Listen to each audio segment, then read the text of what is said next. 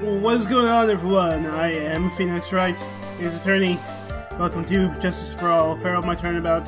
The first part of the second trial day, Will Powers has just given his testimony on um, the second meeting with the bellboy. Uh, so it is time to cross-examine him. So he says, after leaving the Juan's room, the bellboy went and knocked on Matt's door, just like that. Let's press that. Is that what you saw while you were busy spying? eh, excuse me, he's probably taking offense to the spying statement, because he, you know, wasn't actually intending to. I may be a poor, underpaid action star, but even I wouldn't stoop to spying. Well, I think the point is, where did you watch all this from, Mr. Powers? Oh, um, from the door of the bathroom with my left eye in a sort of sneaky spy like, um, uh, not helping your case, Powers. I knew he was spying. Please, doesn't really matter if he was doing it over or underhandedly. What did the bellboy do next? That's all I care to know. He gave something to the person inside the room. Let's press that. I said, God, uh, okay. Um, okay. That's better. um, uh, what, uh, what happened there? Um, what kind of statement is that? Please elaborate and give us a few more details. Oh, um, okay. Hmm, I should probably ask him only one question at a time. About the person inside, ask about the something, or don't ask anything. Uh, what was the actual statement again? I don't remember. I'm going to not ask anything. I don't think I can find out much more from Mr. Powers. He'd probably move on to a different topic. So what did the bellboy do after that? So if I go back, uh, I'm not going to actually good. So, so he gave something to the person inside the room. Okay, so that's the statement. Uh, I am going to ask about the something. He gave something to this person. Ah! And what was this something? Ha ha ha! Does he not know? I guess if I remembered what it was, I wouldn't be calling it something, would I? Well, this implies that something was removed from the scene of the crime! I guess so. Are you sure you really can't remember, Mr. Powers? Um, I think it was something kind of small. This is an incredibly crucial piece of information. Please, try to remember what it was. Um, I'll try. In the meantime, let's talk of another point. Namely, what the bellboy did next. Oh, so after he gave the person inside the room the thing. Okay. Um, I'm going to go back and press again in the same state. I'm actually going to speed things up a little bit and ask about the person inside this time. Uh, let's slow things back down. Uh, ask about the person inside. Uh, so who took the something the bellboy handed off? Um, actually, I don't know. What do you mean? I'm sorry, but I only saw the person's arm. An arm! When you're you didn't see the person's face, uh, that would be what he's implying. Yeah. I would like to summarize the testimony up to this point, if you don't mind. When the boy bellboy left the crime scene, he immediately went to the defendant's room. There, he handed a small item of some sort to the person inside. As for the person who received the item, all you could see was the person's arm. Yes, yes, it was just like that. Mr. Edgeworth, is this all is all this really that important? Of course, Your Honor. I think this is of the utmost importance. This is when whatever was removed from the crime scene was handed over to the client. Hmm. Miss Powers, please try to remember what it was the bellboy handed off. Um, well, let's see. Hmm, I think it was... no. If you remember, please add to your testimony. Yes, sir. So, see, if I saw it again, I could say for sure. But I think it was some sort of wooden statue. Okay, I'm going to take a state here. Do I have anything like that in my evidence? A wooden statue. Could it possibly be the bear? or it could be either of the bears in theory. Um, see, is it potentially the figure? I'm guessing it's the figurine. Bears are Corrida's thing, right? So, perhaps the killer, the killer, took the figurine from Corrida's room and then gave it to a guard, and something, he did something with it which explains the cuts. Um, I mean, it was, I mean, you could think that was wooden from a distance. Oh, it, it even says a wooden bear-shaped figurine. Okay, so I think this is going to be what we present. It is indeed. Say dot dot dot dot dot dot dot dot dot dot dot dot. What was the point of that bringing pause? Um, where did that objection come from? Well, speak up. Uh, it was me, Your Honor. Uh, wh why are we making this awkward? What is it, Phoenix? I have a feeling something bad is going to happen once I show this. Oh boy. Mr. Wright, you have something to say. Please put it out. Uh, yes, Your Honor. Okay, Phoenix. Deep breath. Mr. Powers, something you saw. Was it this item? Oh, that's bad music. Uh, it probably is. But the thing is, we're supposed to be playing dumb, aren't we? Um, oh hey, that's it! That's the something! Wow, Mr. Wright, you really figured it out! hmm, I recall we found this at Malagard's mansion. At the, the defendant's house! Yeah, this is not looking good for us. What does this mean? It's simple, Your Honor. Shelly de Killer assassinated Juan Corrida in his room, and then he stole this wooden bear from the scene of the crime. Then, the bear being found in Mr. Engarde's mansion would mean... It goes without saying, Your Honor. Mr. Malengard is the killer's client. I'm guessing I'm probably going to have to object and try to buy some time. Order! Order! Order! I said order! That's right, this is the most unfortunate turn of events for you. Uh, yeah. Sorry, Mia. No, it's alright. Your judgment was sound. I'm guessing I'm probably going to have a no wait, it's not what you think sort of moment. Actually, I figured the bear would come up. If not now, then it would have later on. Even if you hadn't shown it to the court. I'm sure your friend Edgeworth would have. Uh, I forgot that he knew that too. Yeah, aren't we supposed to be like sharing evidence with each other? You know, we're legally required to. Hmm. I think it's clear that there is no need for us to continue this trial. Oh boy, I I can't let this happen. I have to do something. There has to be something we've overlooked. Your Honor, a minute, please. Yes, Mr. Wright. Mm. There's still a few points left that we have not fully explored. What are you trying to pull? Oh, well, well, we can't have that. Alright, Mr. Wright, what questionable point would you like to explore further? Powers testimony.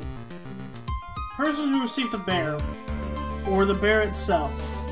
I think I'm, I'm going to take a state, obviously, but I'm going to go with the bear itself because of the cuts. I think it's fairly obvious that the bear itself is very questionable. Dun dun dun, he's going to tap his finger.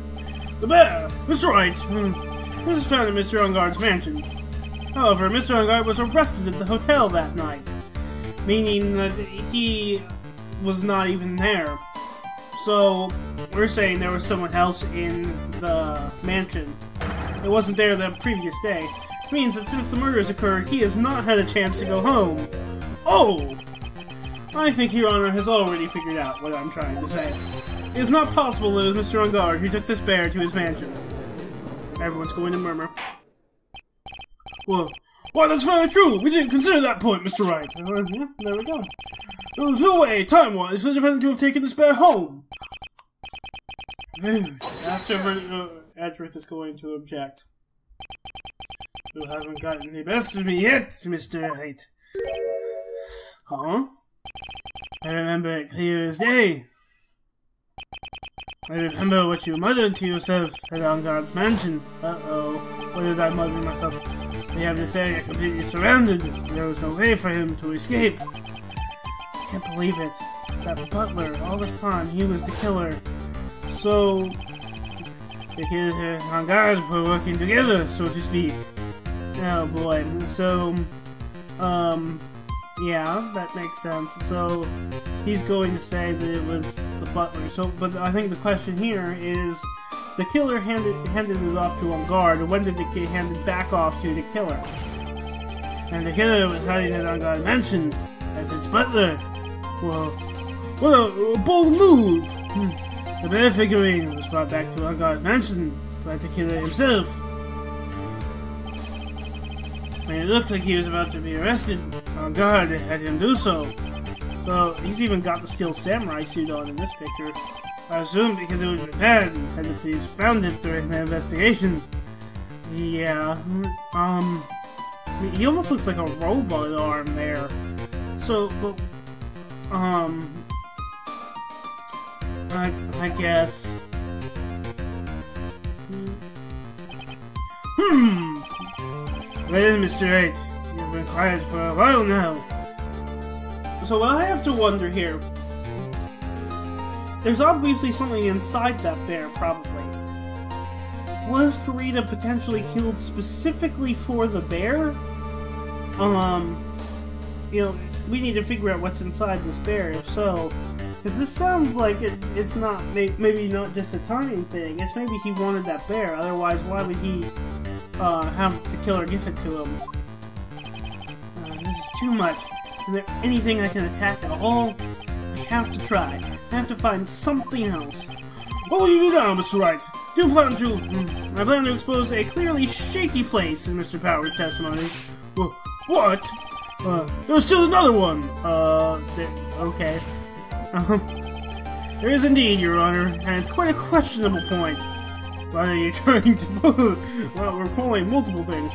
Oh, well, we can't have that! Alright, Mr. Wright, what questionable point would you like to explore further? Okay. So... There's a, so there was that point. There's also the person who received the bear and Power's testimony as possible points. Um... So what about the person who received the bear? There was one thing Mr. Power's testimony that was very unclear. That is the identity of the person who received the bear. He, uh, he gave something to the person inside the room. I'm sorry, but I only saw the person's arm. As long as we don't know who it was that took the bear. We can't be sure. Of. Ah, he is screaming, apparently. Uh, question mark? Question mark? Question mark? Dot dot dots and question mark? Or, what is it, Mr. Powers? If you're going to scream like that, at least give us a good reason why. Uh, oh yeah, sorry. Actually, so, I remembered. Are you gonna get another testimony now or something? Um, I remembered who took the bear. Uh, really? I mean, I only saw his arm. But, but, the arm, it was the Nickel Samurai's arm. I swear it. So I go, you've got to be kidding. Are you sure of that, Mr. Powers? Yeah, I'm sure it was the Nickel Samurai. Oh, Jesus. So maybe there's three Nickel Samurais floating around that night. we, had, we had Andrews in one, so... Order! Order! It looks like you've dug, dug your own grave! Yet again! How many times is that today? I've lost count. Right. So the person who took, who took this bear was a Nickel Samurai. And, as we all know, God is the Nickel Samurai. Joy. Thanks for the defense, we made, made the, all the clear. I think we're enough. We now know why this bear figurine was at the defendant's mansion. As well as who was that received the bear from the assassin in his room. Everything has become very clear. Client who had the assassin commit the murder was Mr. Malagard. So he's got he's stopped. The, I see no reason for this trial to continue. Therefore, I will now hand down my verdict. Thank you, Your Honor for your understanding. So we're going to have some other little objection we can do. Uh, you see, Mr. Wright, you could not win against the truth, could you? I'm not winning against the truth. I'm just trying. I'm literally just trying to stall here. See, I knew it would turn out this way. For all, truth is stated is the truth. Any last objections, Mr. Wright? Uh, well, do I? What should I do? Uh, well, hearing the verdict is going to be a game over, I think. So I'm going to raise an objection. No idea what. I'm, I'm objecting. There's only one way from here to drag this trial out. The only thing I have left is this one dirty trick. What is it? Your Honor, right now we have these two reasons to believe my client is a client of the assassin. He's a client of multiple people. Reason number one, he accepted the bear figurine from the assassin. Reason number two, that very same figurine was found at Engarde Mansion. Those are some pretty big points. However, it's possible that this is all the work of a certain other person. What are you saying? Are We, don't tell me we're accusing Andrews again. What I'm saying is, it's possible a different person is the killer's real client. Uh, okay. The real client! Yes. Just, just, is this all you have? Ah, uh, dot, dot, dot. Now then, Mr. Wright, let's hear your theory. Who do you say is the real client of the killer, and therefore the real murderer? Um... don't know. I think the only the only possible person is gonna be Adrian Andrews. I suppose in order to prolong the trial, I will do so. Adrian Andrews! I guess that's right. Yes, we already know that she tried to frame Engarde for the crime. By wearing a spare nickel samurai costume. Ah! Then and the Nickel Samurai saw that I saw. That could have very well been Miss Andrews. What about Mr. Engarde? If you would please recall yesterday's testimony. So are we saying, you know, so I think our very, very much incorrect theory is that, but prolonging the trial theory is that, um, you know, framing Engarde was part of the killer's work. The defendant was taking a nap during the break period, so and then she gave the bear back to the killer, who took it back to Engarde Mansion. Question is, how did he get in? I don't know. He's an assassin. He probably he was able to pick a lock. Um, and so that whole thing was like a setup, except it's not. But it could we could try to argue that to buy us some time. That's right. Then Playing this figure at Mr. God's mansion. It was a well-laid trap set by Miss Andrews. Uh, dot dot dot. Dot dot dot. Dot dot dot. Mr. Edgeworth, what is your opinion on this? He's going to tap his finger. I can't even begin to count the flaws in the defense's logic. Besides which, there is no evidence to support it. However, I can't fully discount its possibility either. So the only thing he has going for him is Occam's Razor. Oh, that's good, I suppose. Hmm. Remember? Let's with this trial. Come on, anyone can tell Engarde did it. Can't believe the defense will go so far as to pin the guilt onto someone else. You do that all the time. Yeah, unbelievable. It's not something petty. It's murder of all things. It's to save Maya. It's to save Maya. The whole world turns against me, this is one fight I can't give up on. Mia, see, this is really distracting actually. Mia's going to dot dot dot. Okay, thank you, Judge. Order! Order! Order! All disruptive parties order will be forced to leave the courtroom. I can't. Yeah, I screwed that up. Uh, dot dot dot. For the benefit of the defense, I'm ready to play along with his what if game. His what if game, Mr. Edgeworth. So, and so I think, I mean, he knows about Maya. So even though he knows it's wrong, I know it's wrong. He's going to play along for Maya's sake. Thank you. The prosecution is prepared to challenge the defense's theory. The exclamation point.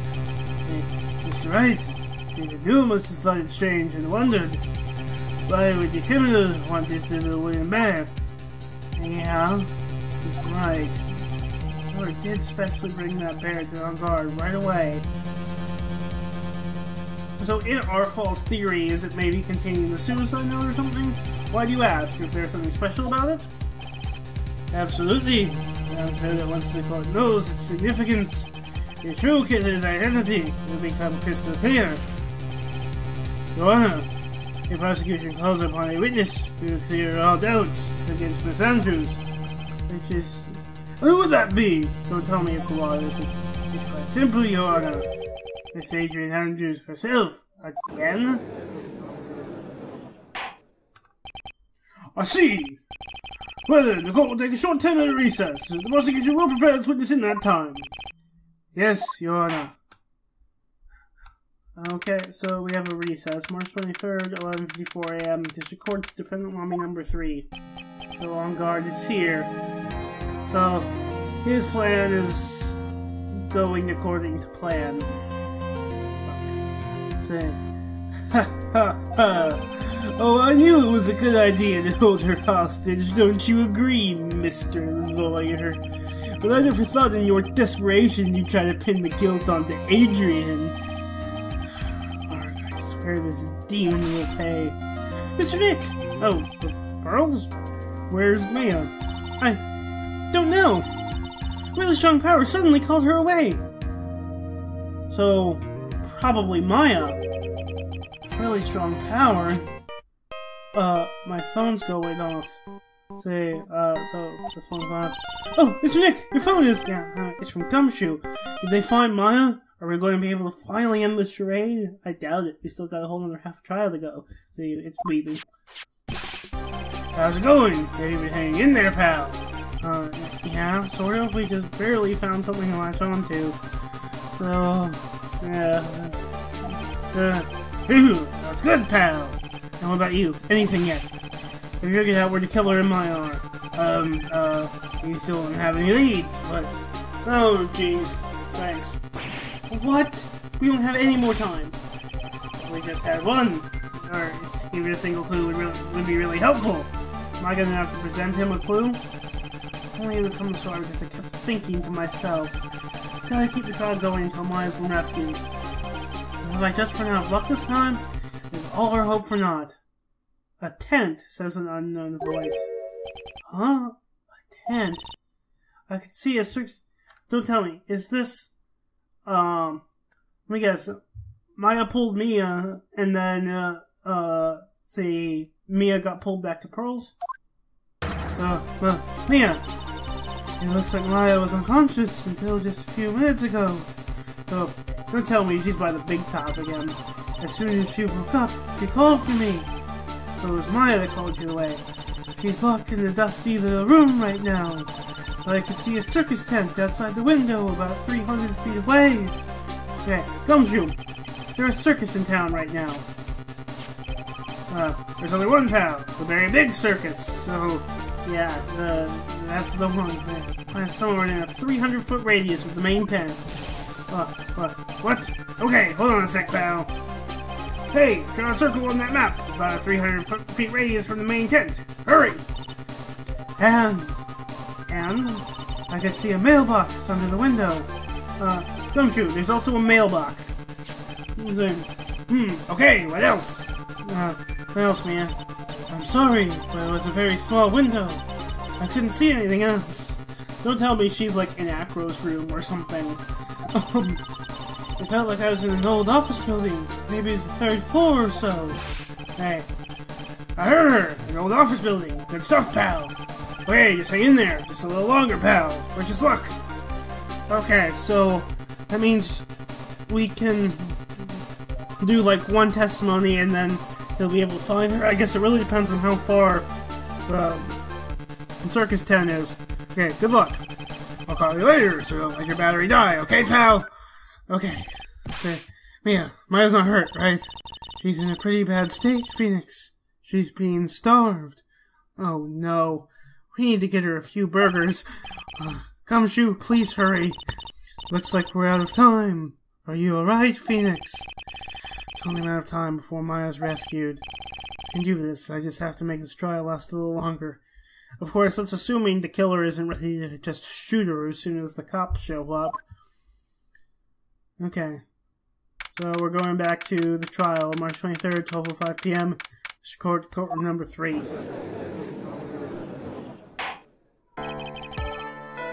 Who will now reconvene? Hmm. The killer, the man who murdered the victim, handed this to his client. From this, one obvious question arises. Why this particular item? I believe the answer to that question will provide us with the name of the real criminal. Then, the prosecution calls the defendant's manager, Adrian Andrews, to the stand. So is she going to say she's probably sick of this shit, isn't she? Currently, the witness is accused of tampering by obstruction of justice. Wait, dot dot dot. See, however, you have been called to the witness stand today to ascertain who exactly is guilty of murder. I understand. Very good. Now, have you ever seen this bear before, Miss Andrews? Of course I have. Uh, you have seen it before! That's right. It's only natural that doing this has, because she was in close with Karina. Miss Andrews, would you please enlighten the court to this man's secrets? Alright. Why? Why does she... Why does she... What? The bear figures so we're going on to the testimony. We're never going to figure out why does she... What? Um, actually, this is an elaborate puzzle. If you know the correct order, it can be taken apart one piece at a time. At center is a small cavity with just enough room to store a small item. That's probably the suicide note, isn't it? Because of its complexity, if you don't know the order, you can't open the bear. You really can't tell it's a small jewelry box just by looking at it. Oh, it's... So it's a jewelry box, so it's basically... It's a puzzle lock. Okay. Plus figure eight is a container of sorts, is it? Yes, looks to me deceiving, wouldn't you agree? Uh, yes, this is superb craftsmanship. Oh yes, I nearly forgot. You may begin your cross-examination, Mr. yeah, uh, thanks. Uh, looks like there really was something to that bear after all. Okay, so the bear figurine, let's start pressing things, I suppose. So, actually, is an elaborate puzzle, let's press that. A puzzle? That's right. Hmm, well, looks like an ordinary figurine. Sure enough. People who don't know, I'm sure they'd never guess that this was a puzzle. So what kind of puzzle is this exactly? Well, if you know the correct order, it can be taken apart, one piece at a time. So you can take it apart, and how would one go about doing that? Did she show us? Does she know? Well, you first turn his tail to the right, and then push it in. Oh yes, I see. So is he taking it apart right now? So maybe this press will just, you know, allow him to take it apart, um, and then we can see what's inside it. After that, the arms and legs are free to move and can be removed. Oh, this is most interesting. Oh boy, his new toy. Like he's five all over again. Oh, he's figuring it out as it whisks from different sides of the screen. Oh, don't mind me. Uh, okay I think he's lost it. Uh, so what do you find after you take the puzzle apart? Does she even know? I said there's a small cavity with just enough room to store a small item. Let's pass that. And how do you know about this? I know, because I was the one who bought it. Uh, okay. Huh? It was a souvenir from when a friend and I went to Switzerland. Okay. And this was a present from you! That's right. Interesting. It was a puzzle in the shape of a bear, so I thought it would be perfect for Juan. Does he like puzzles or something? So it was a present from Miss Andrews. Witness, let's continue with your testimony. Uh, because of its complexity, you don't know the order, you can't open the bear. Press that. So who exactly knew how to solve this puzzle? Wait, only the two of us, Juan and myself. It was a souvenir from Switzerland. So I doubt there are that many people with the same pair in this country. Well, this looks like it can be easily broken. Supposedly someone wanted to get what was inside. I guess not. Well, it's a toy, but it can never be the same again once it's been broken. So it hasn't been. Okay. But I really can't tell it's a small jewelry box just by looking at it. Let's press that. Who else knows that this bear is actually a small container or jewelry box? I never told anyone, and as long as Juan never told anyone either, and only the two of us know. Unless he told someone. Two of you, huh? And of course that means Mr. Engarde didn't know, right? Wait, dot dot dot. That's good for Engarde, I suppose. I think that's about all I'm going to get for now. Figuring was updated in the court record. Okay, so we're moving on to another testimony or something?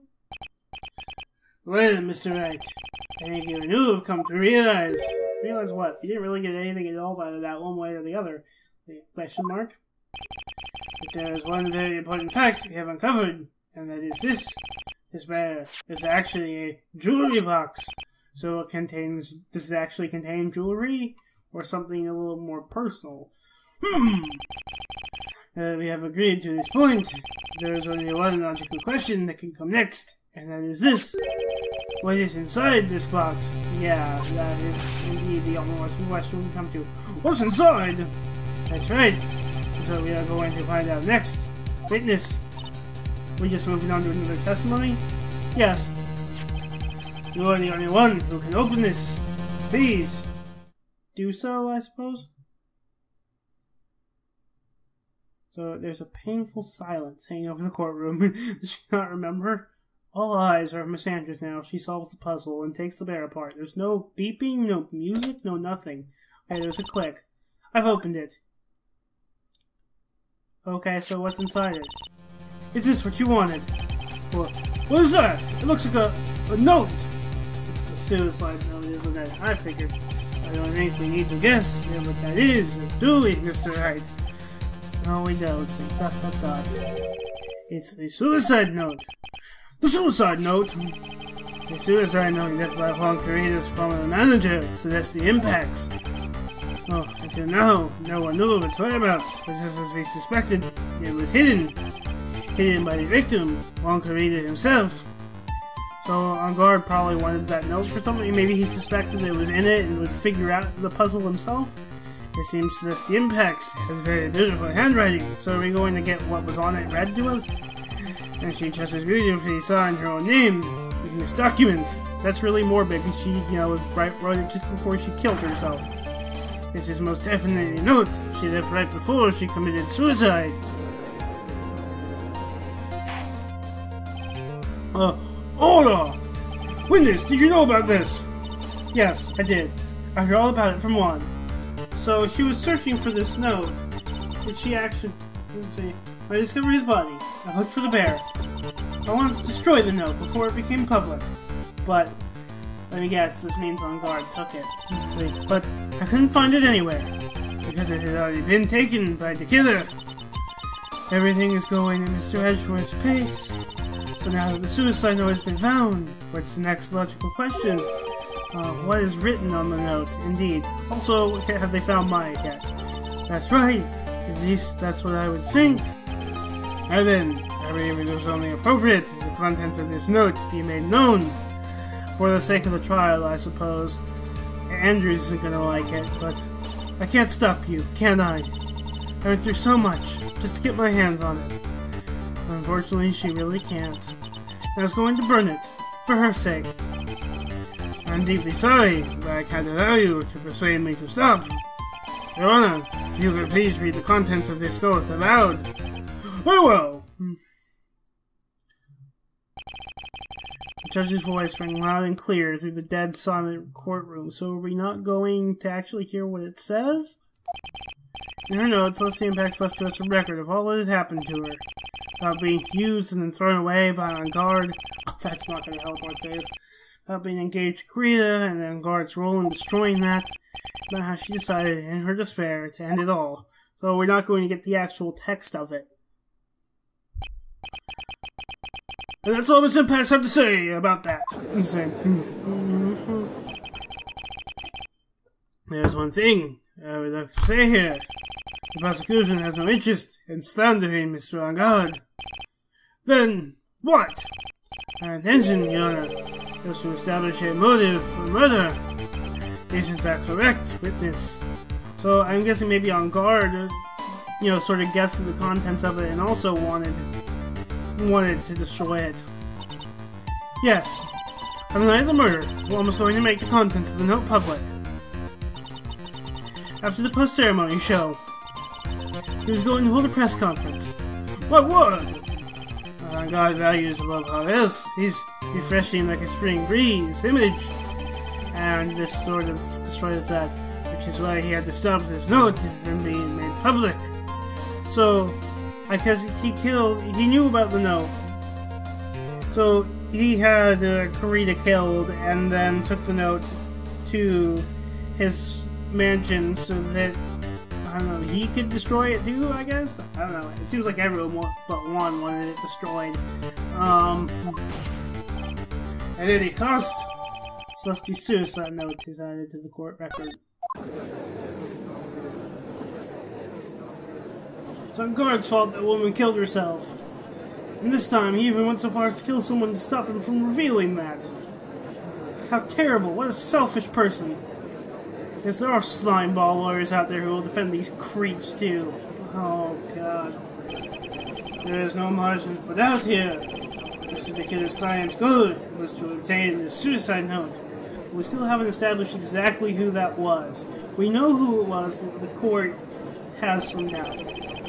The only person who needed this note that badly is the defendant. Let's not forget that the bag with the note inside was found in the defendant's house. It seems as we've come to the truth at last. The villain's motives were entirely selfish. He deserves no sympathy from anyone. How am I supposed to escape from this one? Please tell me Gumshoe's going to call me.